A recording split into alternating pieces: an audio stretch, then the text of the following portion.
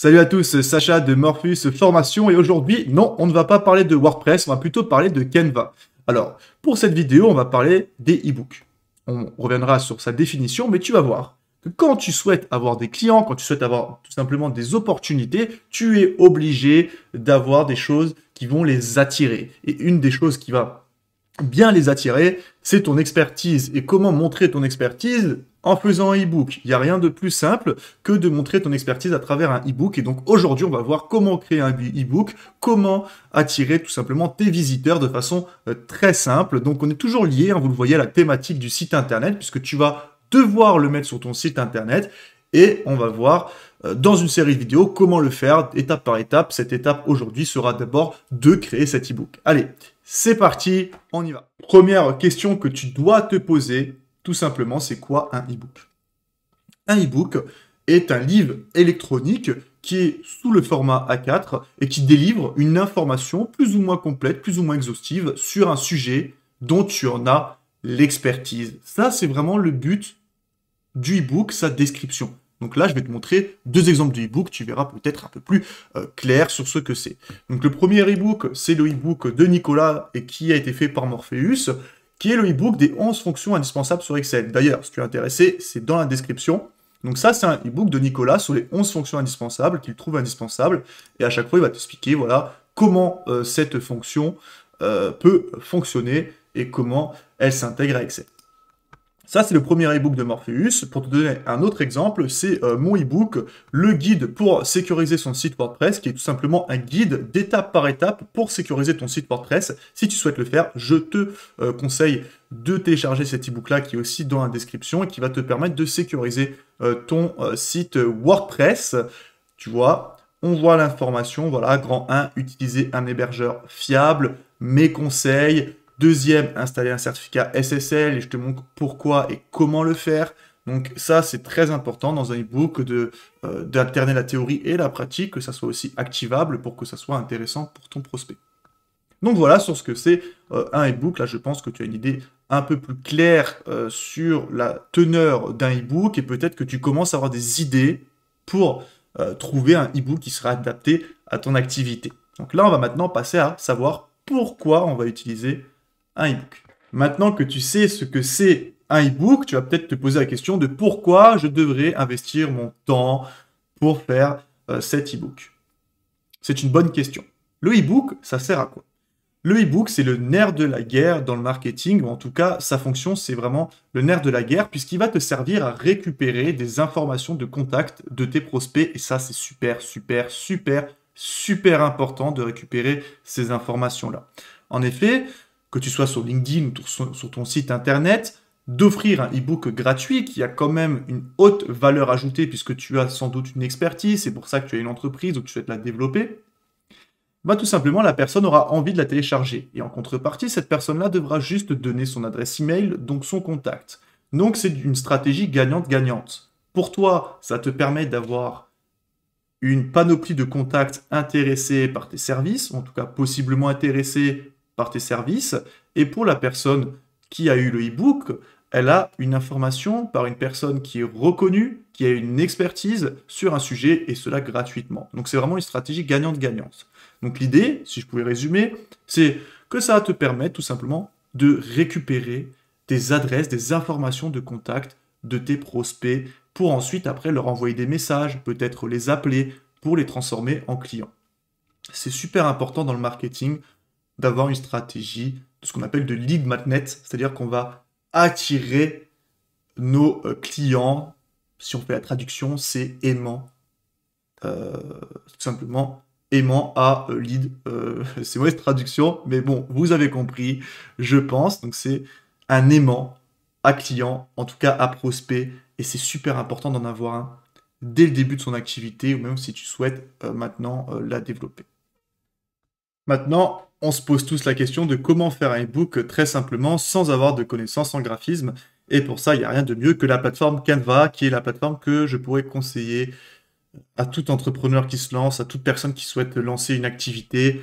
Allez-y, Canva, c'est le top du top. Vous avez une version gratuite et une version payante qui est à 11 euros par mois, il me semble. Il y a des codes de promo qui sont disponibles sur Internet. Et l'avantage, c'est que cette plateforme va vous permettre de créer tout type de visuel de façon très très très simple. Et quand vous faites une communication quasi journalière ou hebdomadaire euh, sur le digital, c'est absolument indispensable comme plateforme, surtout que tout est préfait grâce à des templates, que ce soit euh, une publication Instagram, une publication LinkedIn, un poster, un logo, tout est préfet avec de ce qu'on appelle des templates, comme on peut le voir euh, à mon écran. Donc là, je suis sur la page d'accueil de Canva qu'on a créé un compte. Comme je l'ai dit, la création d'un compte est gratuit. Vous aurez aussi accès exactement à cette même interface, bien que j'ai accès à un peu plus de ressources car j'ai le format premium, hein, ce, qui est, ce qui est logique.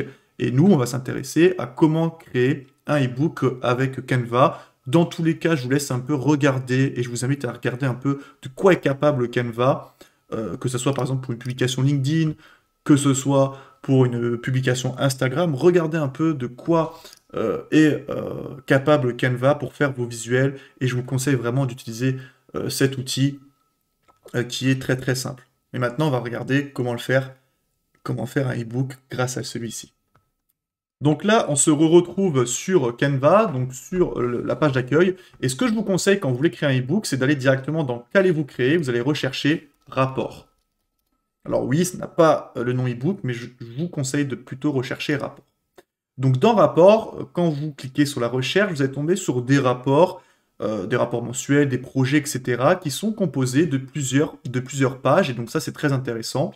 Et vous pouvez choisir celui qui vous plaît le plus. Donc je vous invite à faire défiler un peu euh, les, euh, les, pages pour avoir quelque chose qui vous plaît dans son organisation et par rapport à ce que vous voulez faire.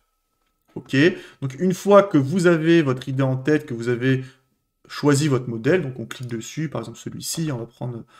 On va prendre, on va prendre celui-là qui me paraît plutôt pas mal. Ok, on va mettre personnaliser ce modèle.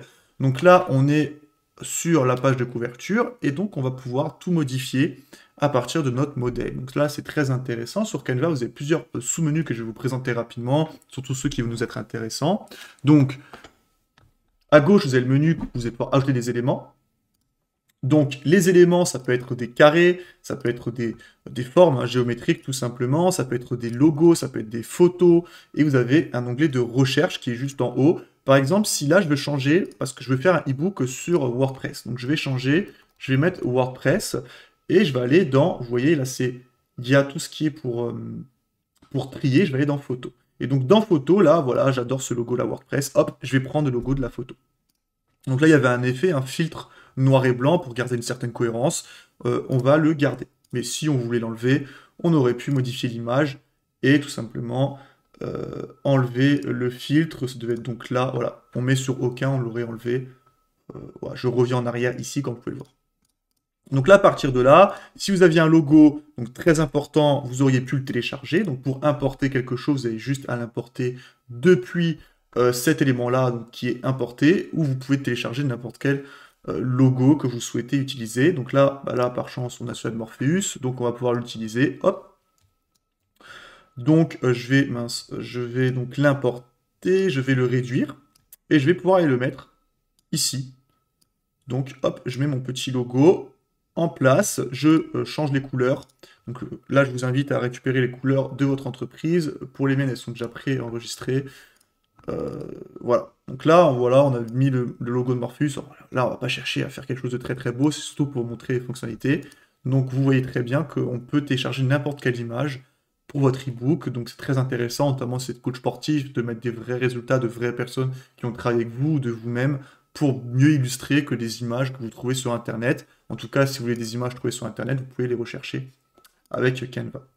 Ok, donc après au niveau du euh, texte et donc la zone d'édition, vous pouvez tout simplement noter ce que vous souhaitez. Vous pouvez, comme sur Word, c'est très simple, augmenter la taille de la police, la baisser, changer les couleurs, bref, ça, vraiment, je vous laisserai un peu prendre en main euh, cette interface. Donc, comme vous voyez, à gauche, c'est pour ajouter des choses sur l'interface de travail.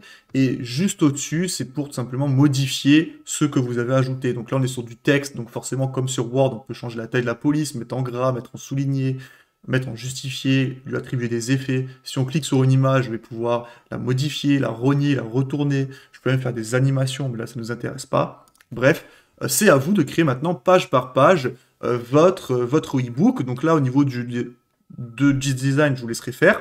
Par contre, on va quand même voir quelque chose. Alors là, on a la deuxième page de couverture.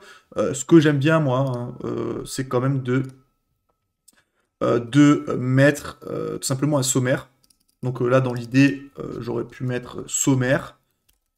Et donc ici, là, j'aurais mis en fait toutes les pages ok, de euh, mon e-book. Donc la page de sommaire, je vous conseille de la faire à la fin.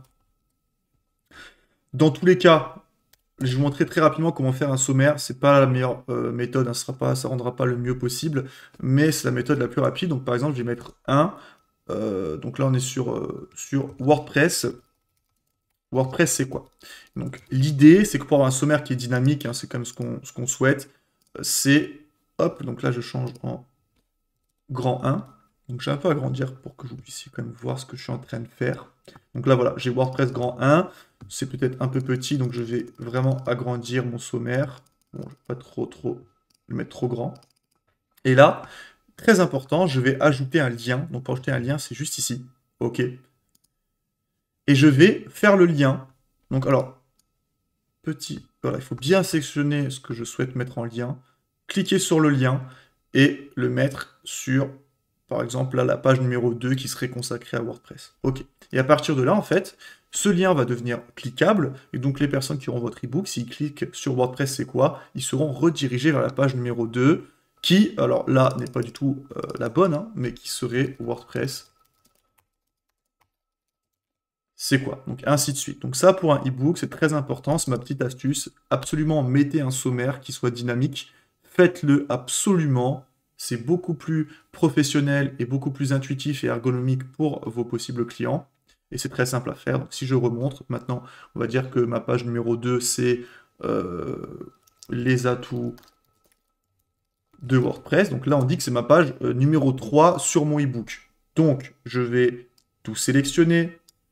Je vais dans lien, ajouter le lien et je vais ajouter la page numéro 3. Et hop, le lien est fait c'est dynamique. Donc voilà pour les liens. Sinon pour le reste, je vous laisserai donc ajouter votre texte. Donc pour ajouter un texte, on ajoute à la gauche et on ajoute une zone de texte. Très très simple. Je vous laisserai donc mettre en forme l'ensemble de votre e-book. Si vous avez des questions, vous les posez en commentaire, je me ferai un plaisir euh, d'y répondre. Et dans tous les cas, donc une fois qu'on a fait voilà son e-book, donc on a fait sa page de couverture très importante où on met le titre et on met les références de son entreprise. La page, deuxième page qui doit être la page de sommaire. Et après, vous mettez votre contenu.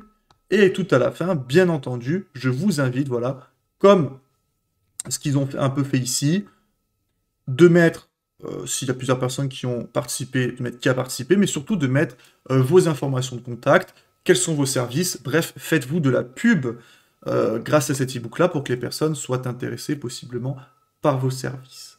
Donc voilà comment, avec Canva, on peut créer un e-book. Donc là, on a créé le design du e-book, ok?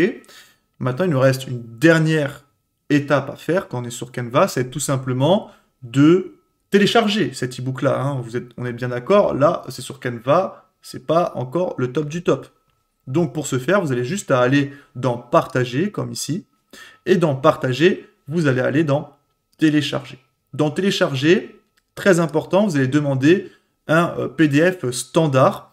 Euh, ça va vous permettre tout simplement euh, d'avoir des liens dynamiques notamment. Vous allez inclure toutes les pages. Alors, l'aplatir, ça vous ne servira à rien. Et inclure les commentaires, ça vous servira à rien. Donc, on laisse décocher. On télécharge. Et à partir de là, vous voyez, le PDF va se télécharger. OK, et donc, on a bien notre PDF qui est ici, qui est disponible. Là, si je lance, voilà, on a mon PDF qui est bien disponible, que j'ai bien téléchargé. On peut tester les liens, si vous voulez. WordPress, c'est quoi? Hop, ça me euh, renvoie bien sur la deuxième page, les atouts de WordPress, voilà. Donc là, juste, je pense, trompé sur les, numéros de page, mais on voit bien que c'est bien euh, dynamique. Et donc là, on peut avoir très rapidement donc un e-book. C'est très très simple à faire avec Canva, c'est gratuit. Donc là, ce que j'ai fait, hein, ça, on n'a pas besoin d'avoir un compte premium pour le faire. Donc je vous invite vraiment, vraiment à aller sur Canva pour créer votre e-book avec ma petite astuce de bien au début chercher rapport et non e-book et puis euh, en mettant vos couleurs, en mettant votre texte et en mettant un sommaire dynamique comme je viens de vous le montrer. Si vous avez des questions et si vous voulez une vidéo euh, consacrée vraiment au niveau de la création, je pourrais la faire mais là ce serait vraiment trop long. Là vous avez vraiment tout pour créer votre e-book. Avant de conclure cette vidéo sur comment créer un e-book avec Canva, j'aimerais quand même revenir sur euh, la stratégie dans laquelle vous devez être quand vous créez un e-book. Avec l'exemple de Morpheus, qui va être un exemple plus simple et peut-être qui va vous parler. Morpheus est un organisme de formation qui propose notamment des formations sur WordPress. Donc pour trouver des clients, des personnes qui seraient intéressées par faire une formation avec nous, on a décidé de faire un e-book qui est le guide pour sécuriser son site WordPress. Je l'ai fait, donc ça apporte de la valeur ajoutée à ce e-book. J'apporte vraiment une expertise sur comment sécuriser son site WordPress. Et pour les personnes qui téléchargent, c'est vraiment une valeur ajoutée, puisqu'ils pourront le télécharger gratuitement. Mais maintenant, pour Morpheus, c'est bien, bien une intention derrière, ça va permettre de récupérer l'adresse de contact de ces personnes-là, qui, visiblement, s'ils sont intéressés par sécuriser leur site WordPress, c'est qu'ils sont intéressés par WordPress, forcément. Qu'ils ont soit un site en WordPress, soit qu'ils veulent sécuriser leur site WordPress, soit euh, qui sont en train d'en développer un. Donc, on est sur des prospects qui sont, entre guillemets, qualifiés, qui seront intéressés par nos, par nos messages commerciaux derrière. Donc, ayez toujours ça en tête. Faites un e-book qui apporte de la valeur ajoutée à votre clientèle sur un sujet précis, qui n'est pas exhaustif sur tout ce que vous faites, mais qui est une porte d'entrée sur vos services. C'est exactement l'idée de ce guide pour sécuriser WordPress, qui est une porte d'entrée pour faire une formation complète sur WordPress, pour après voir le référencement, les meilleurs outils. On va pouvoir le voir dans notre formation, mais pas dans, dans ce e-book qui est que sur la sécurisation de son site WordPress. Donc voilà, j'espère que vous avez un peu compris, un peu mieux compris l'idée d'un e-book, comment le faire, pourquoi le faire et surtout dans quelle stratégie le faire. Et d'ailleurs, je tenais comme à vous dire que ce e-book-là, bien entendu, est présent dans la description, que je propose des formations qui sont finançables pour apprendre à créer un site internet de façon complète. Et surtout, que cette vidéo ne va pas venir tout seul, puisque maintenant qu'on a créé et que vous avez créé votre e-book, je vais vous laisser un peu de temps hein, pour le faire. Et dans les prochaines semaines, je vais créer une vidéo pour vous montrer comment le proposer à vos clients. Parce que ça aussi, euh, ça va être intéressant. Comment aller toucher ses clients, comment automatiser des messages derrière. On va le voir ensemble dans une prochaine vidéo. D'ici là, n'hésitez pas à vous abonner pour ne pas manquer cette vidéo justement et à laisser un petit pouce bleu pour euh, me soutenir, soutenir Morpheus par rapport au travail qu'on fait euh, sur cette chaîne. Ça nous ferait très plaisir et puis je vous dis à très bientôt et à très vite.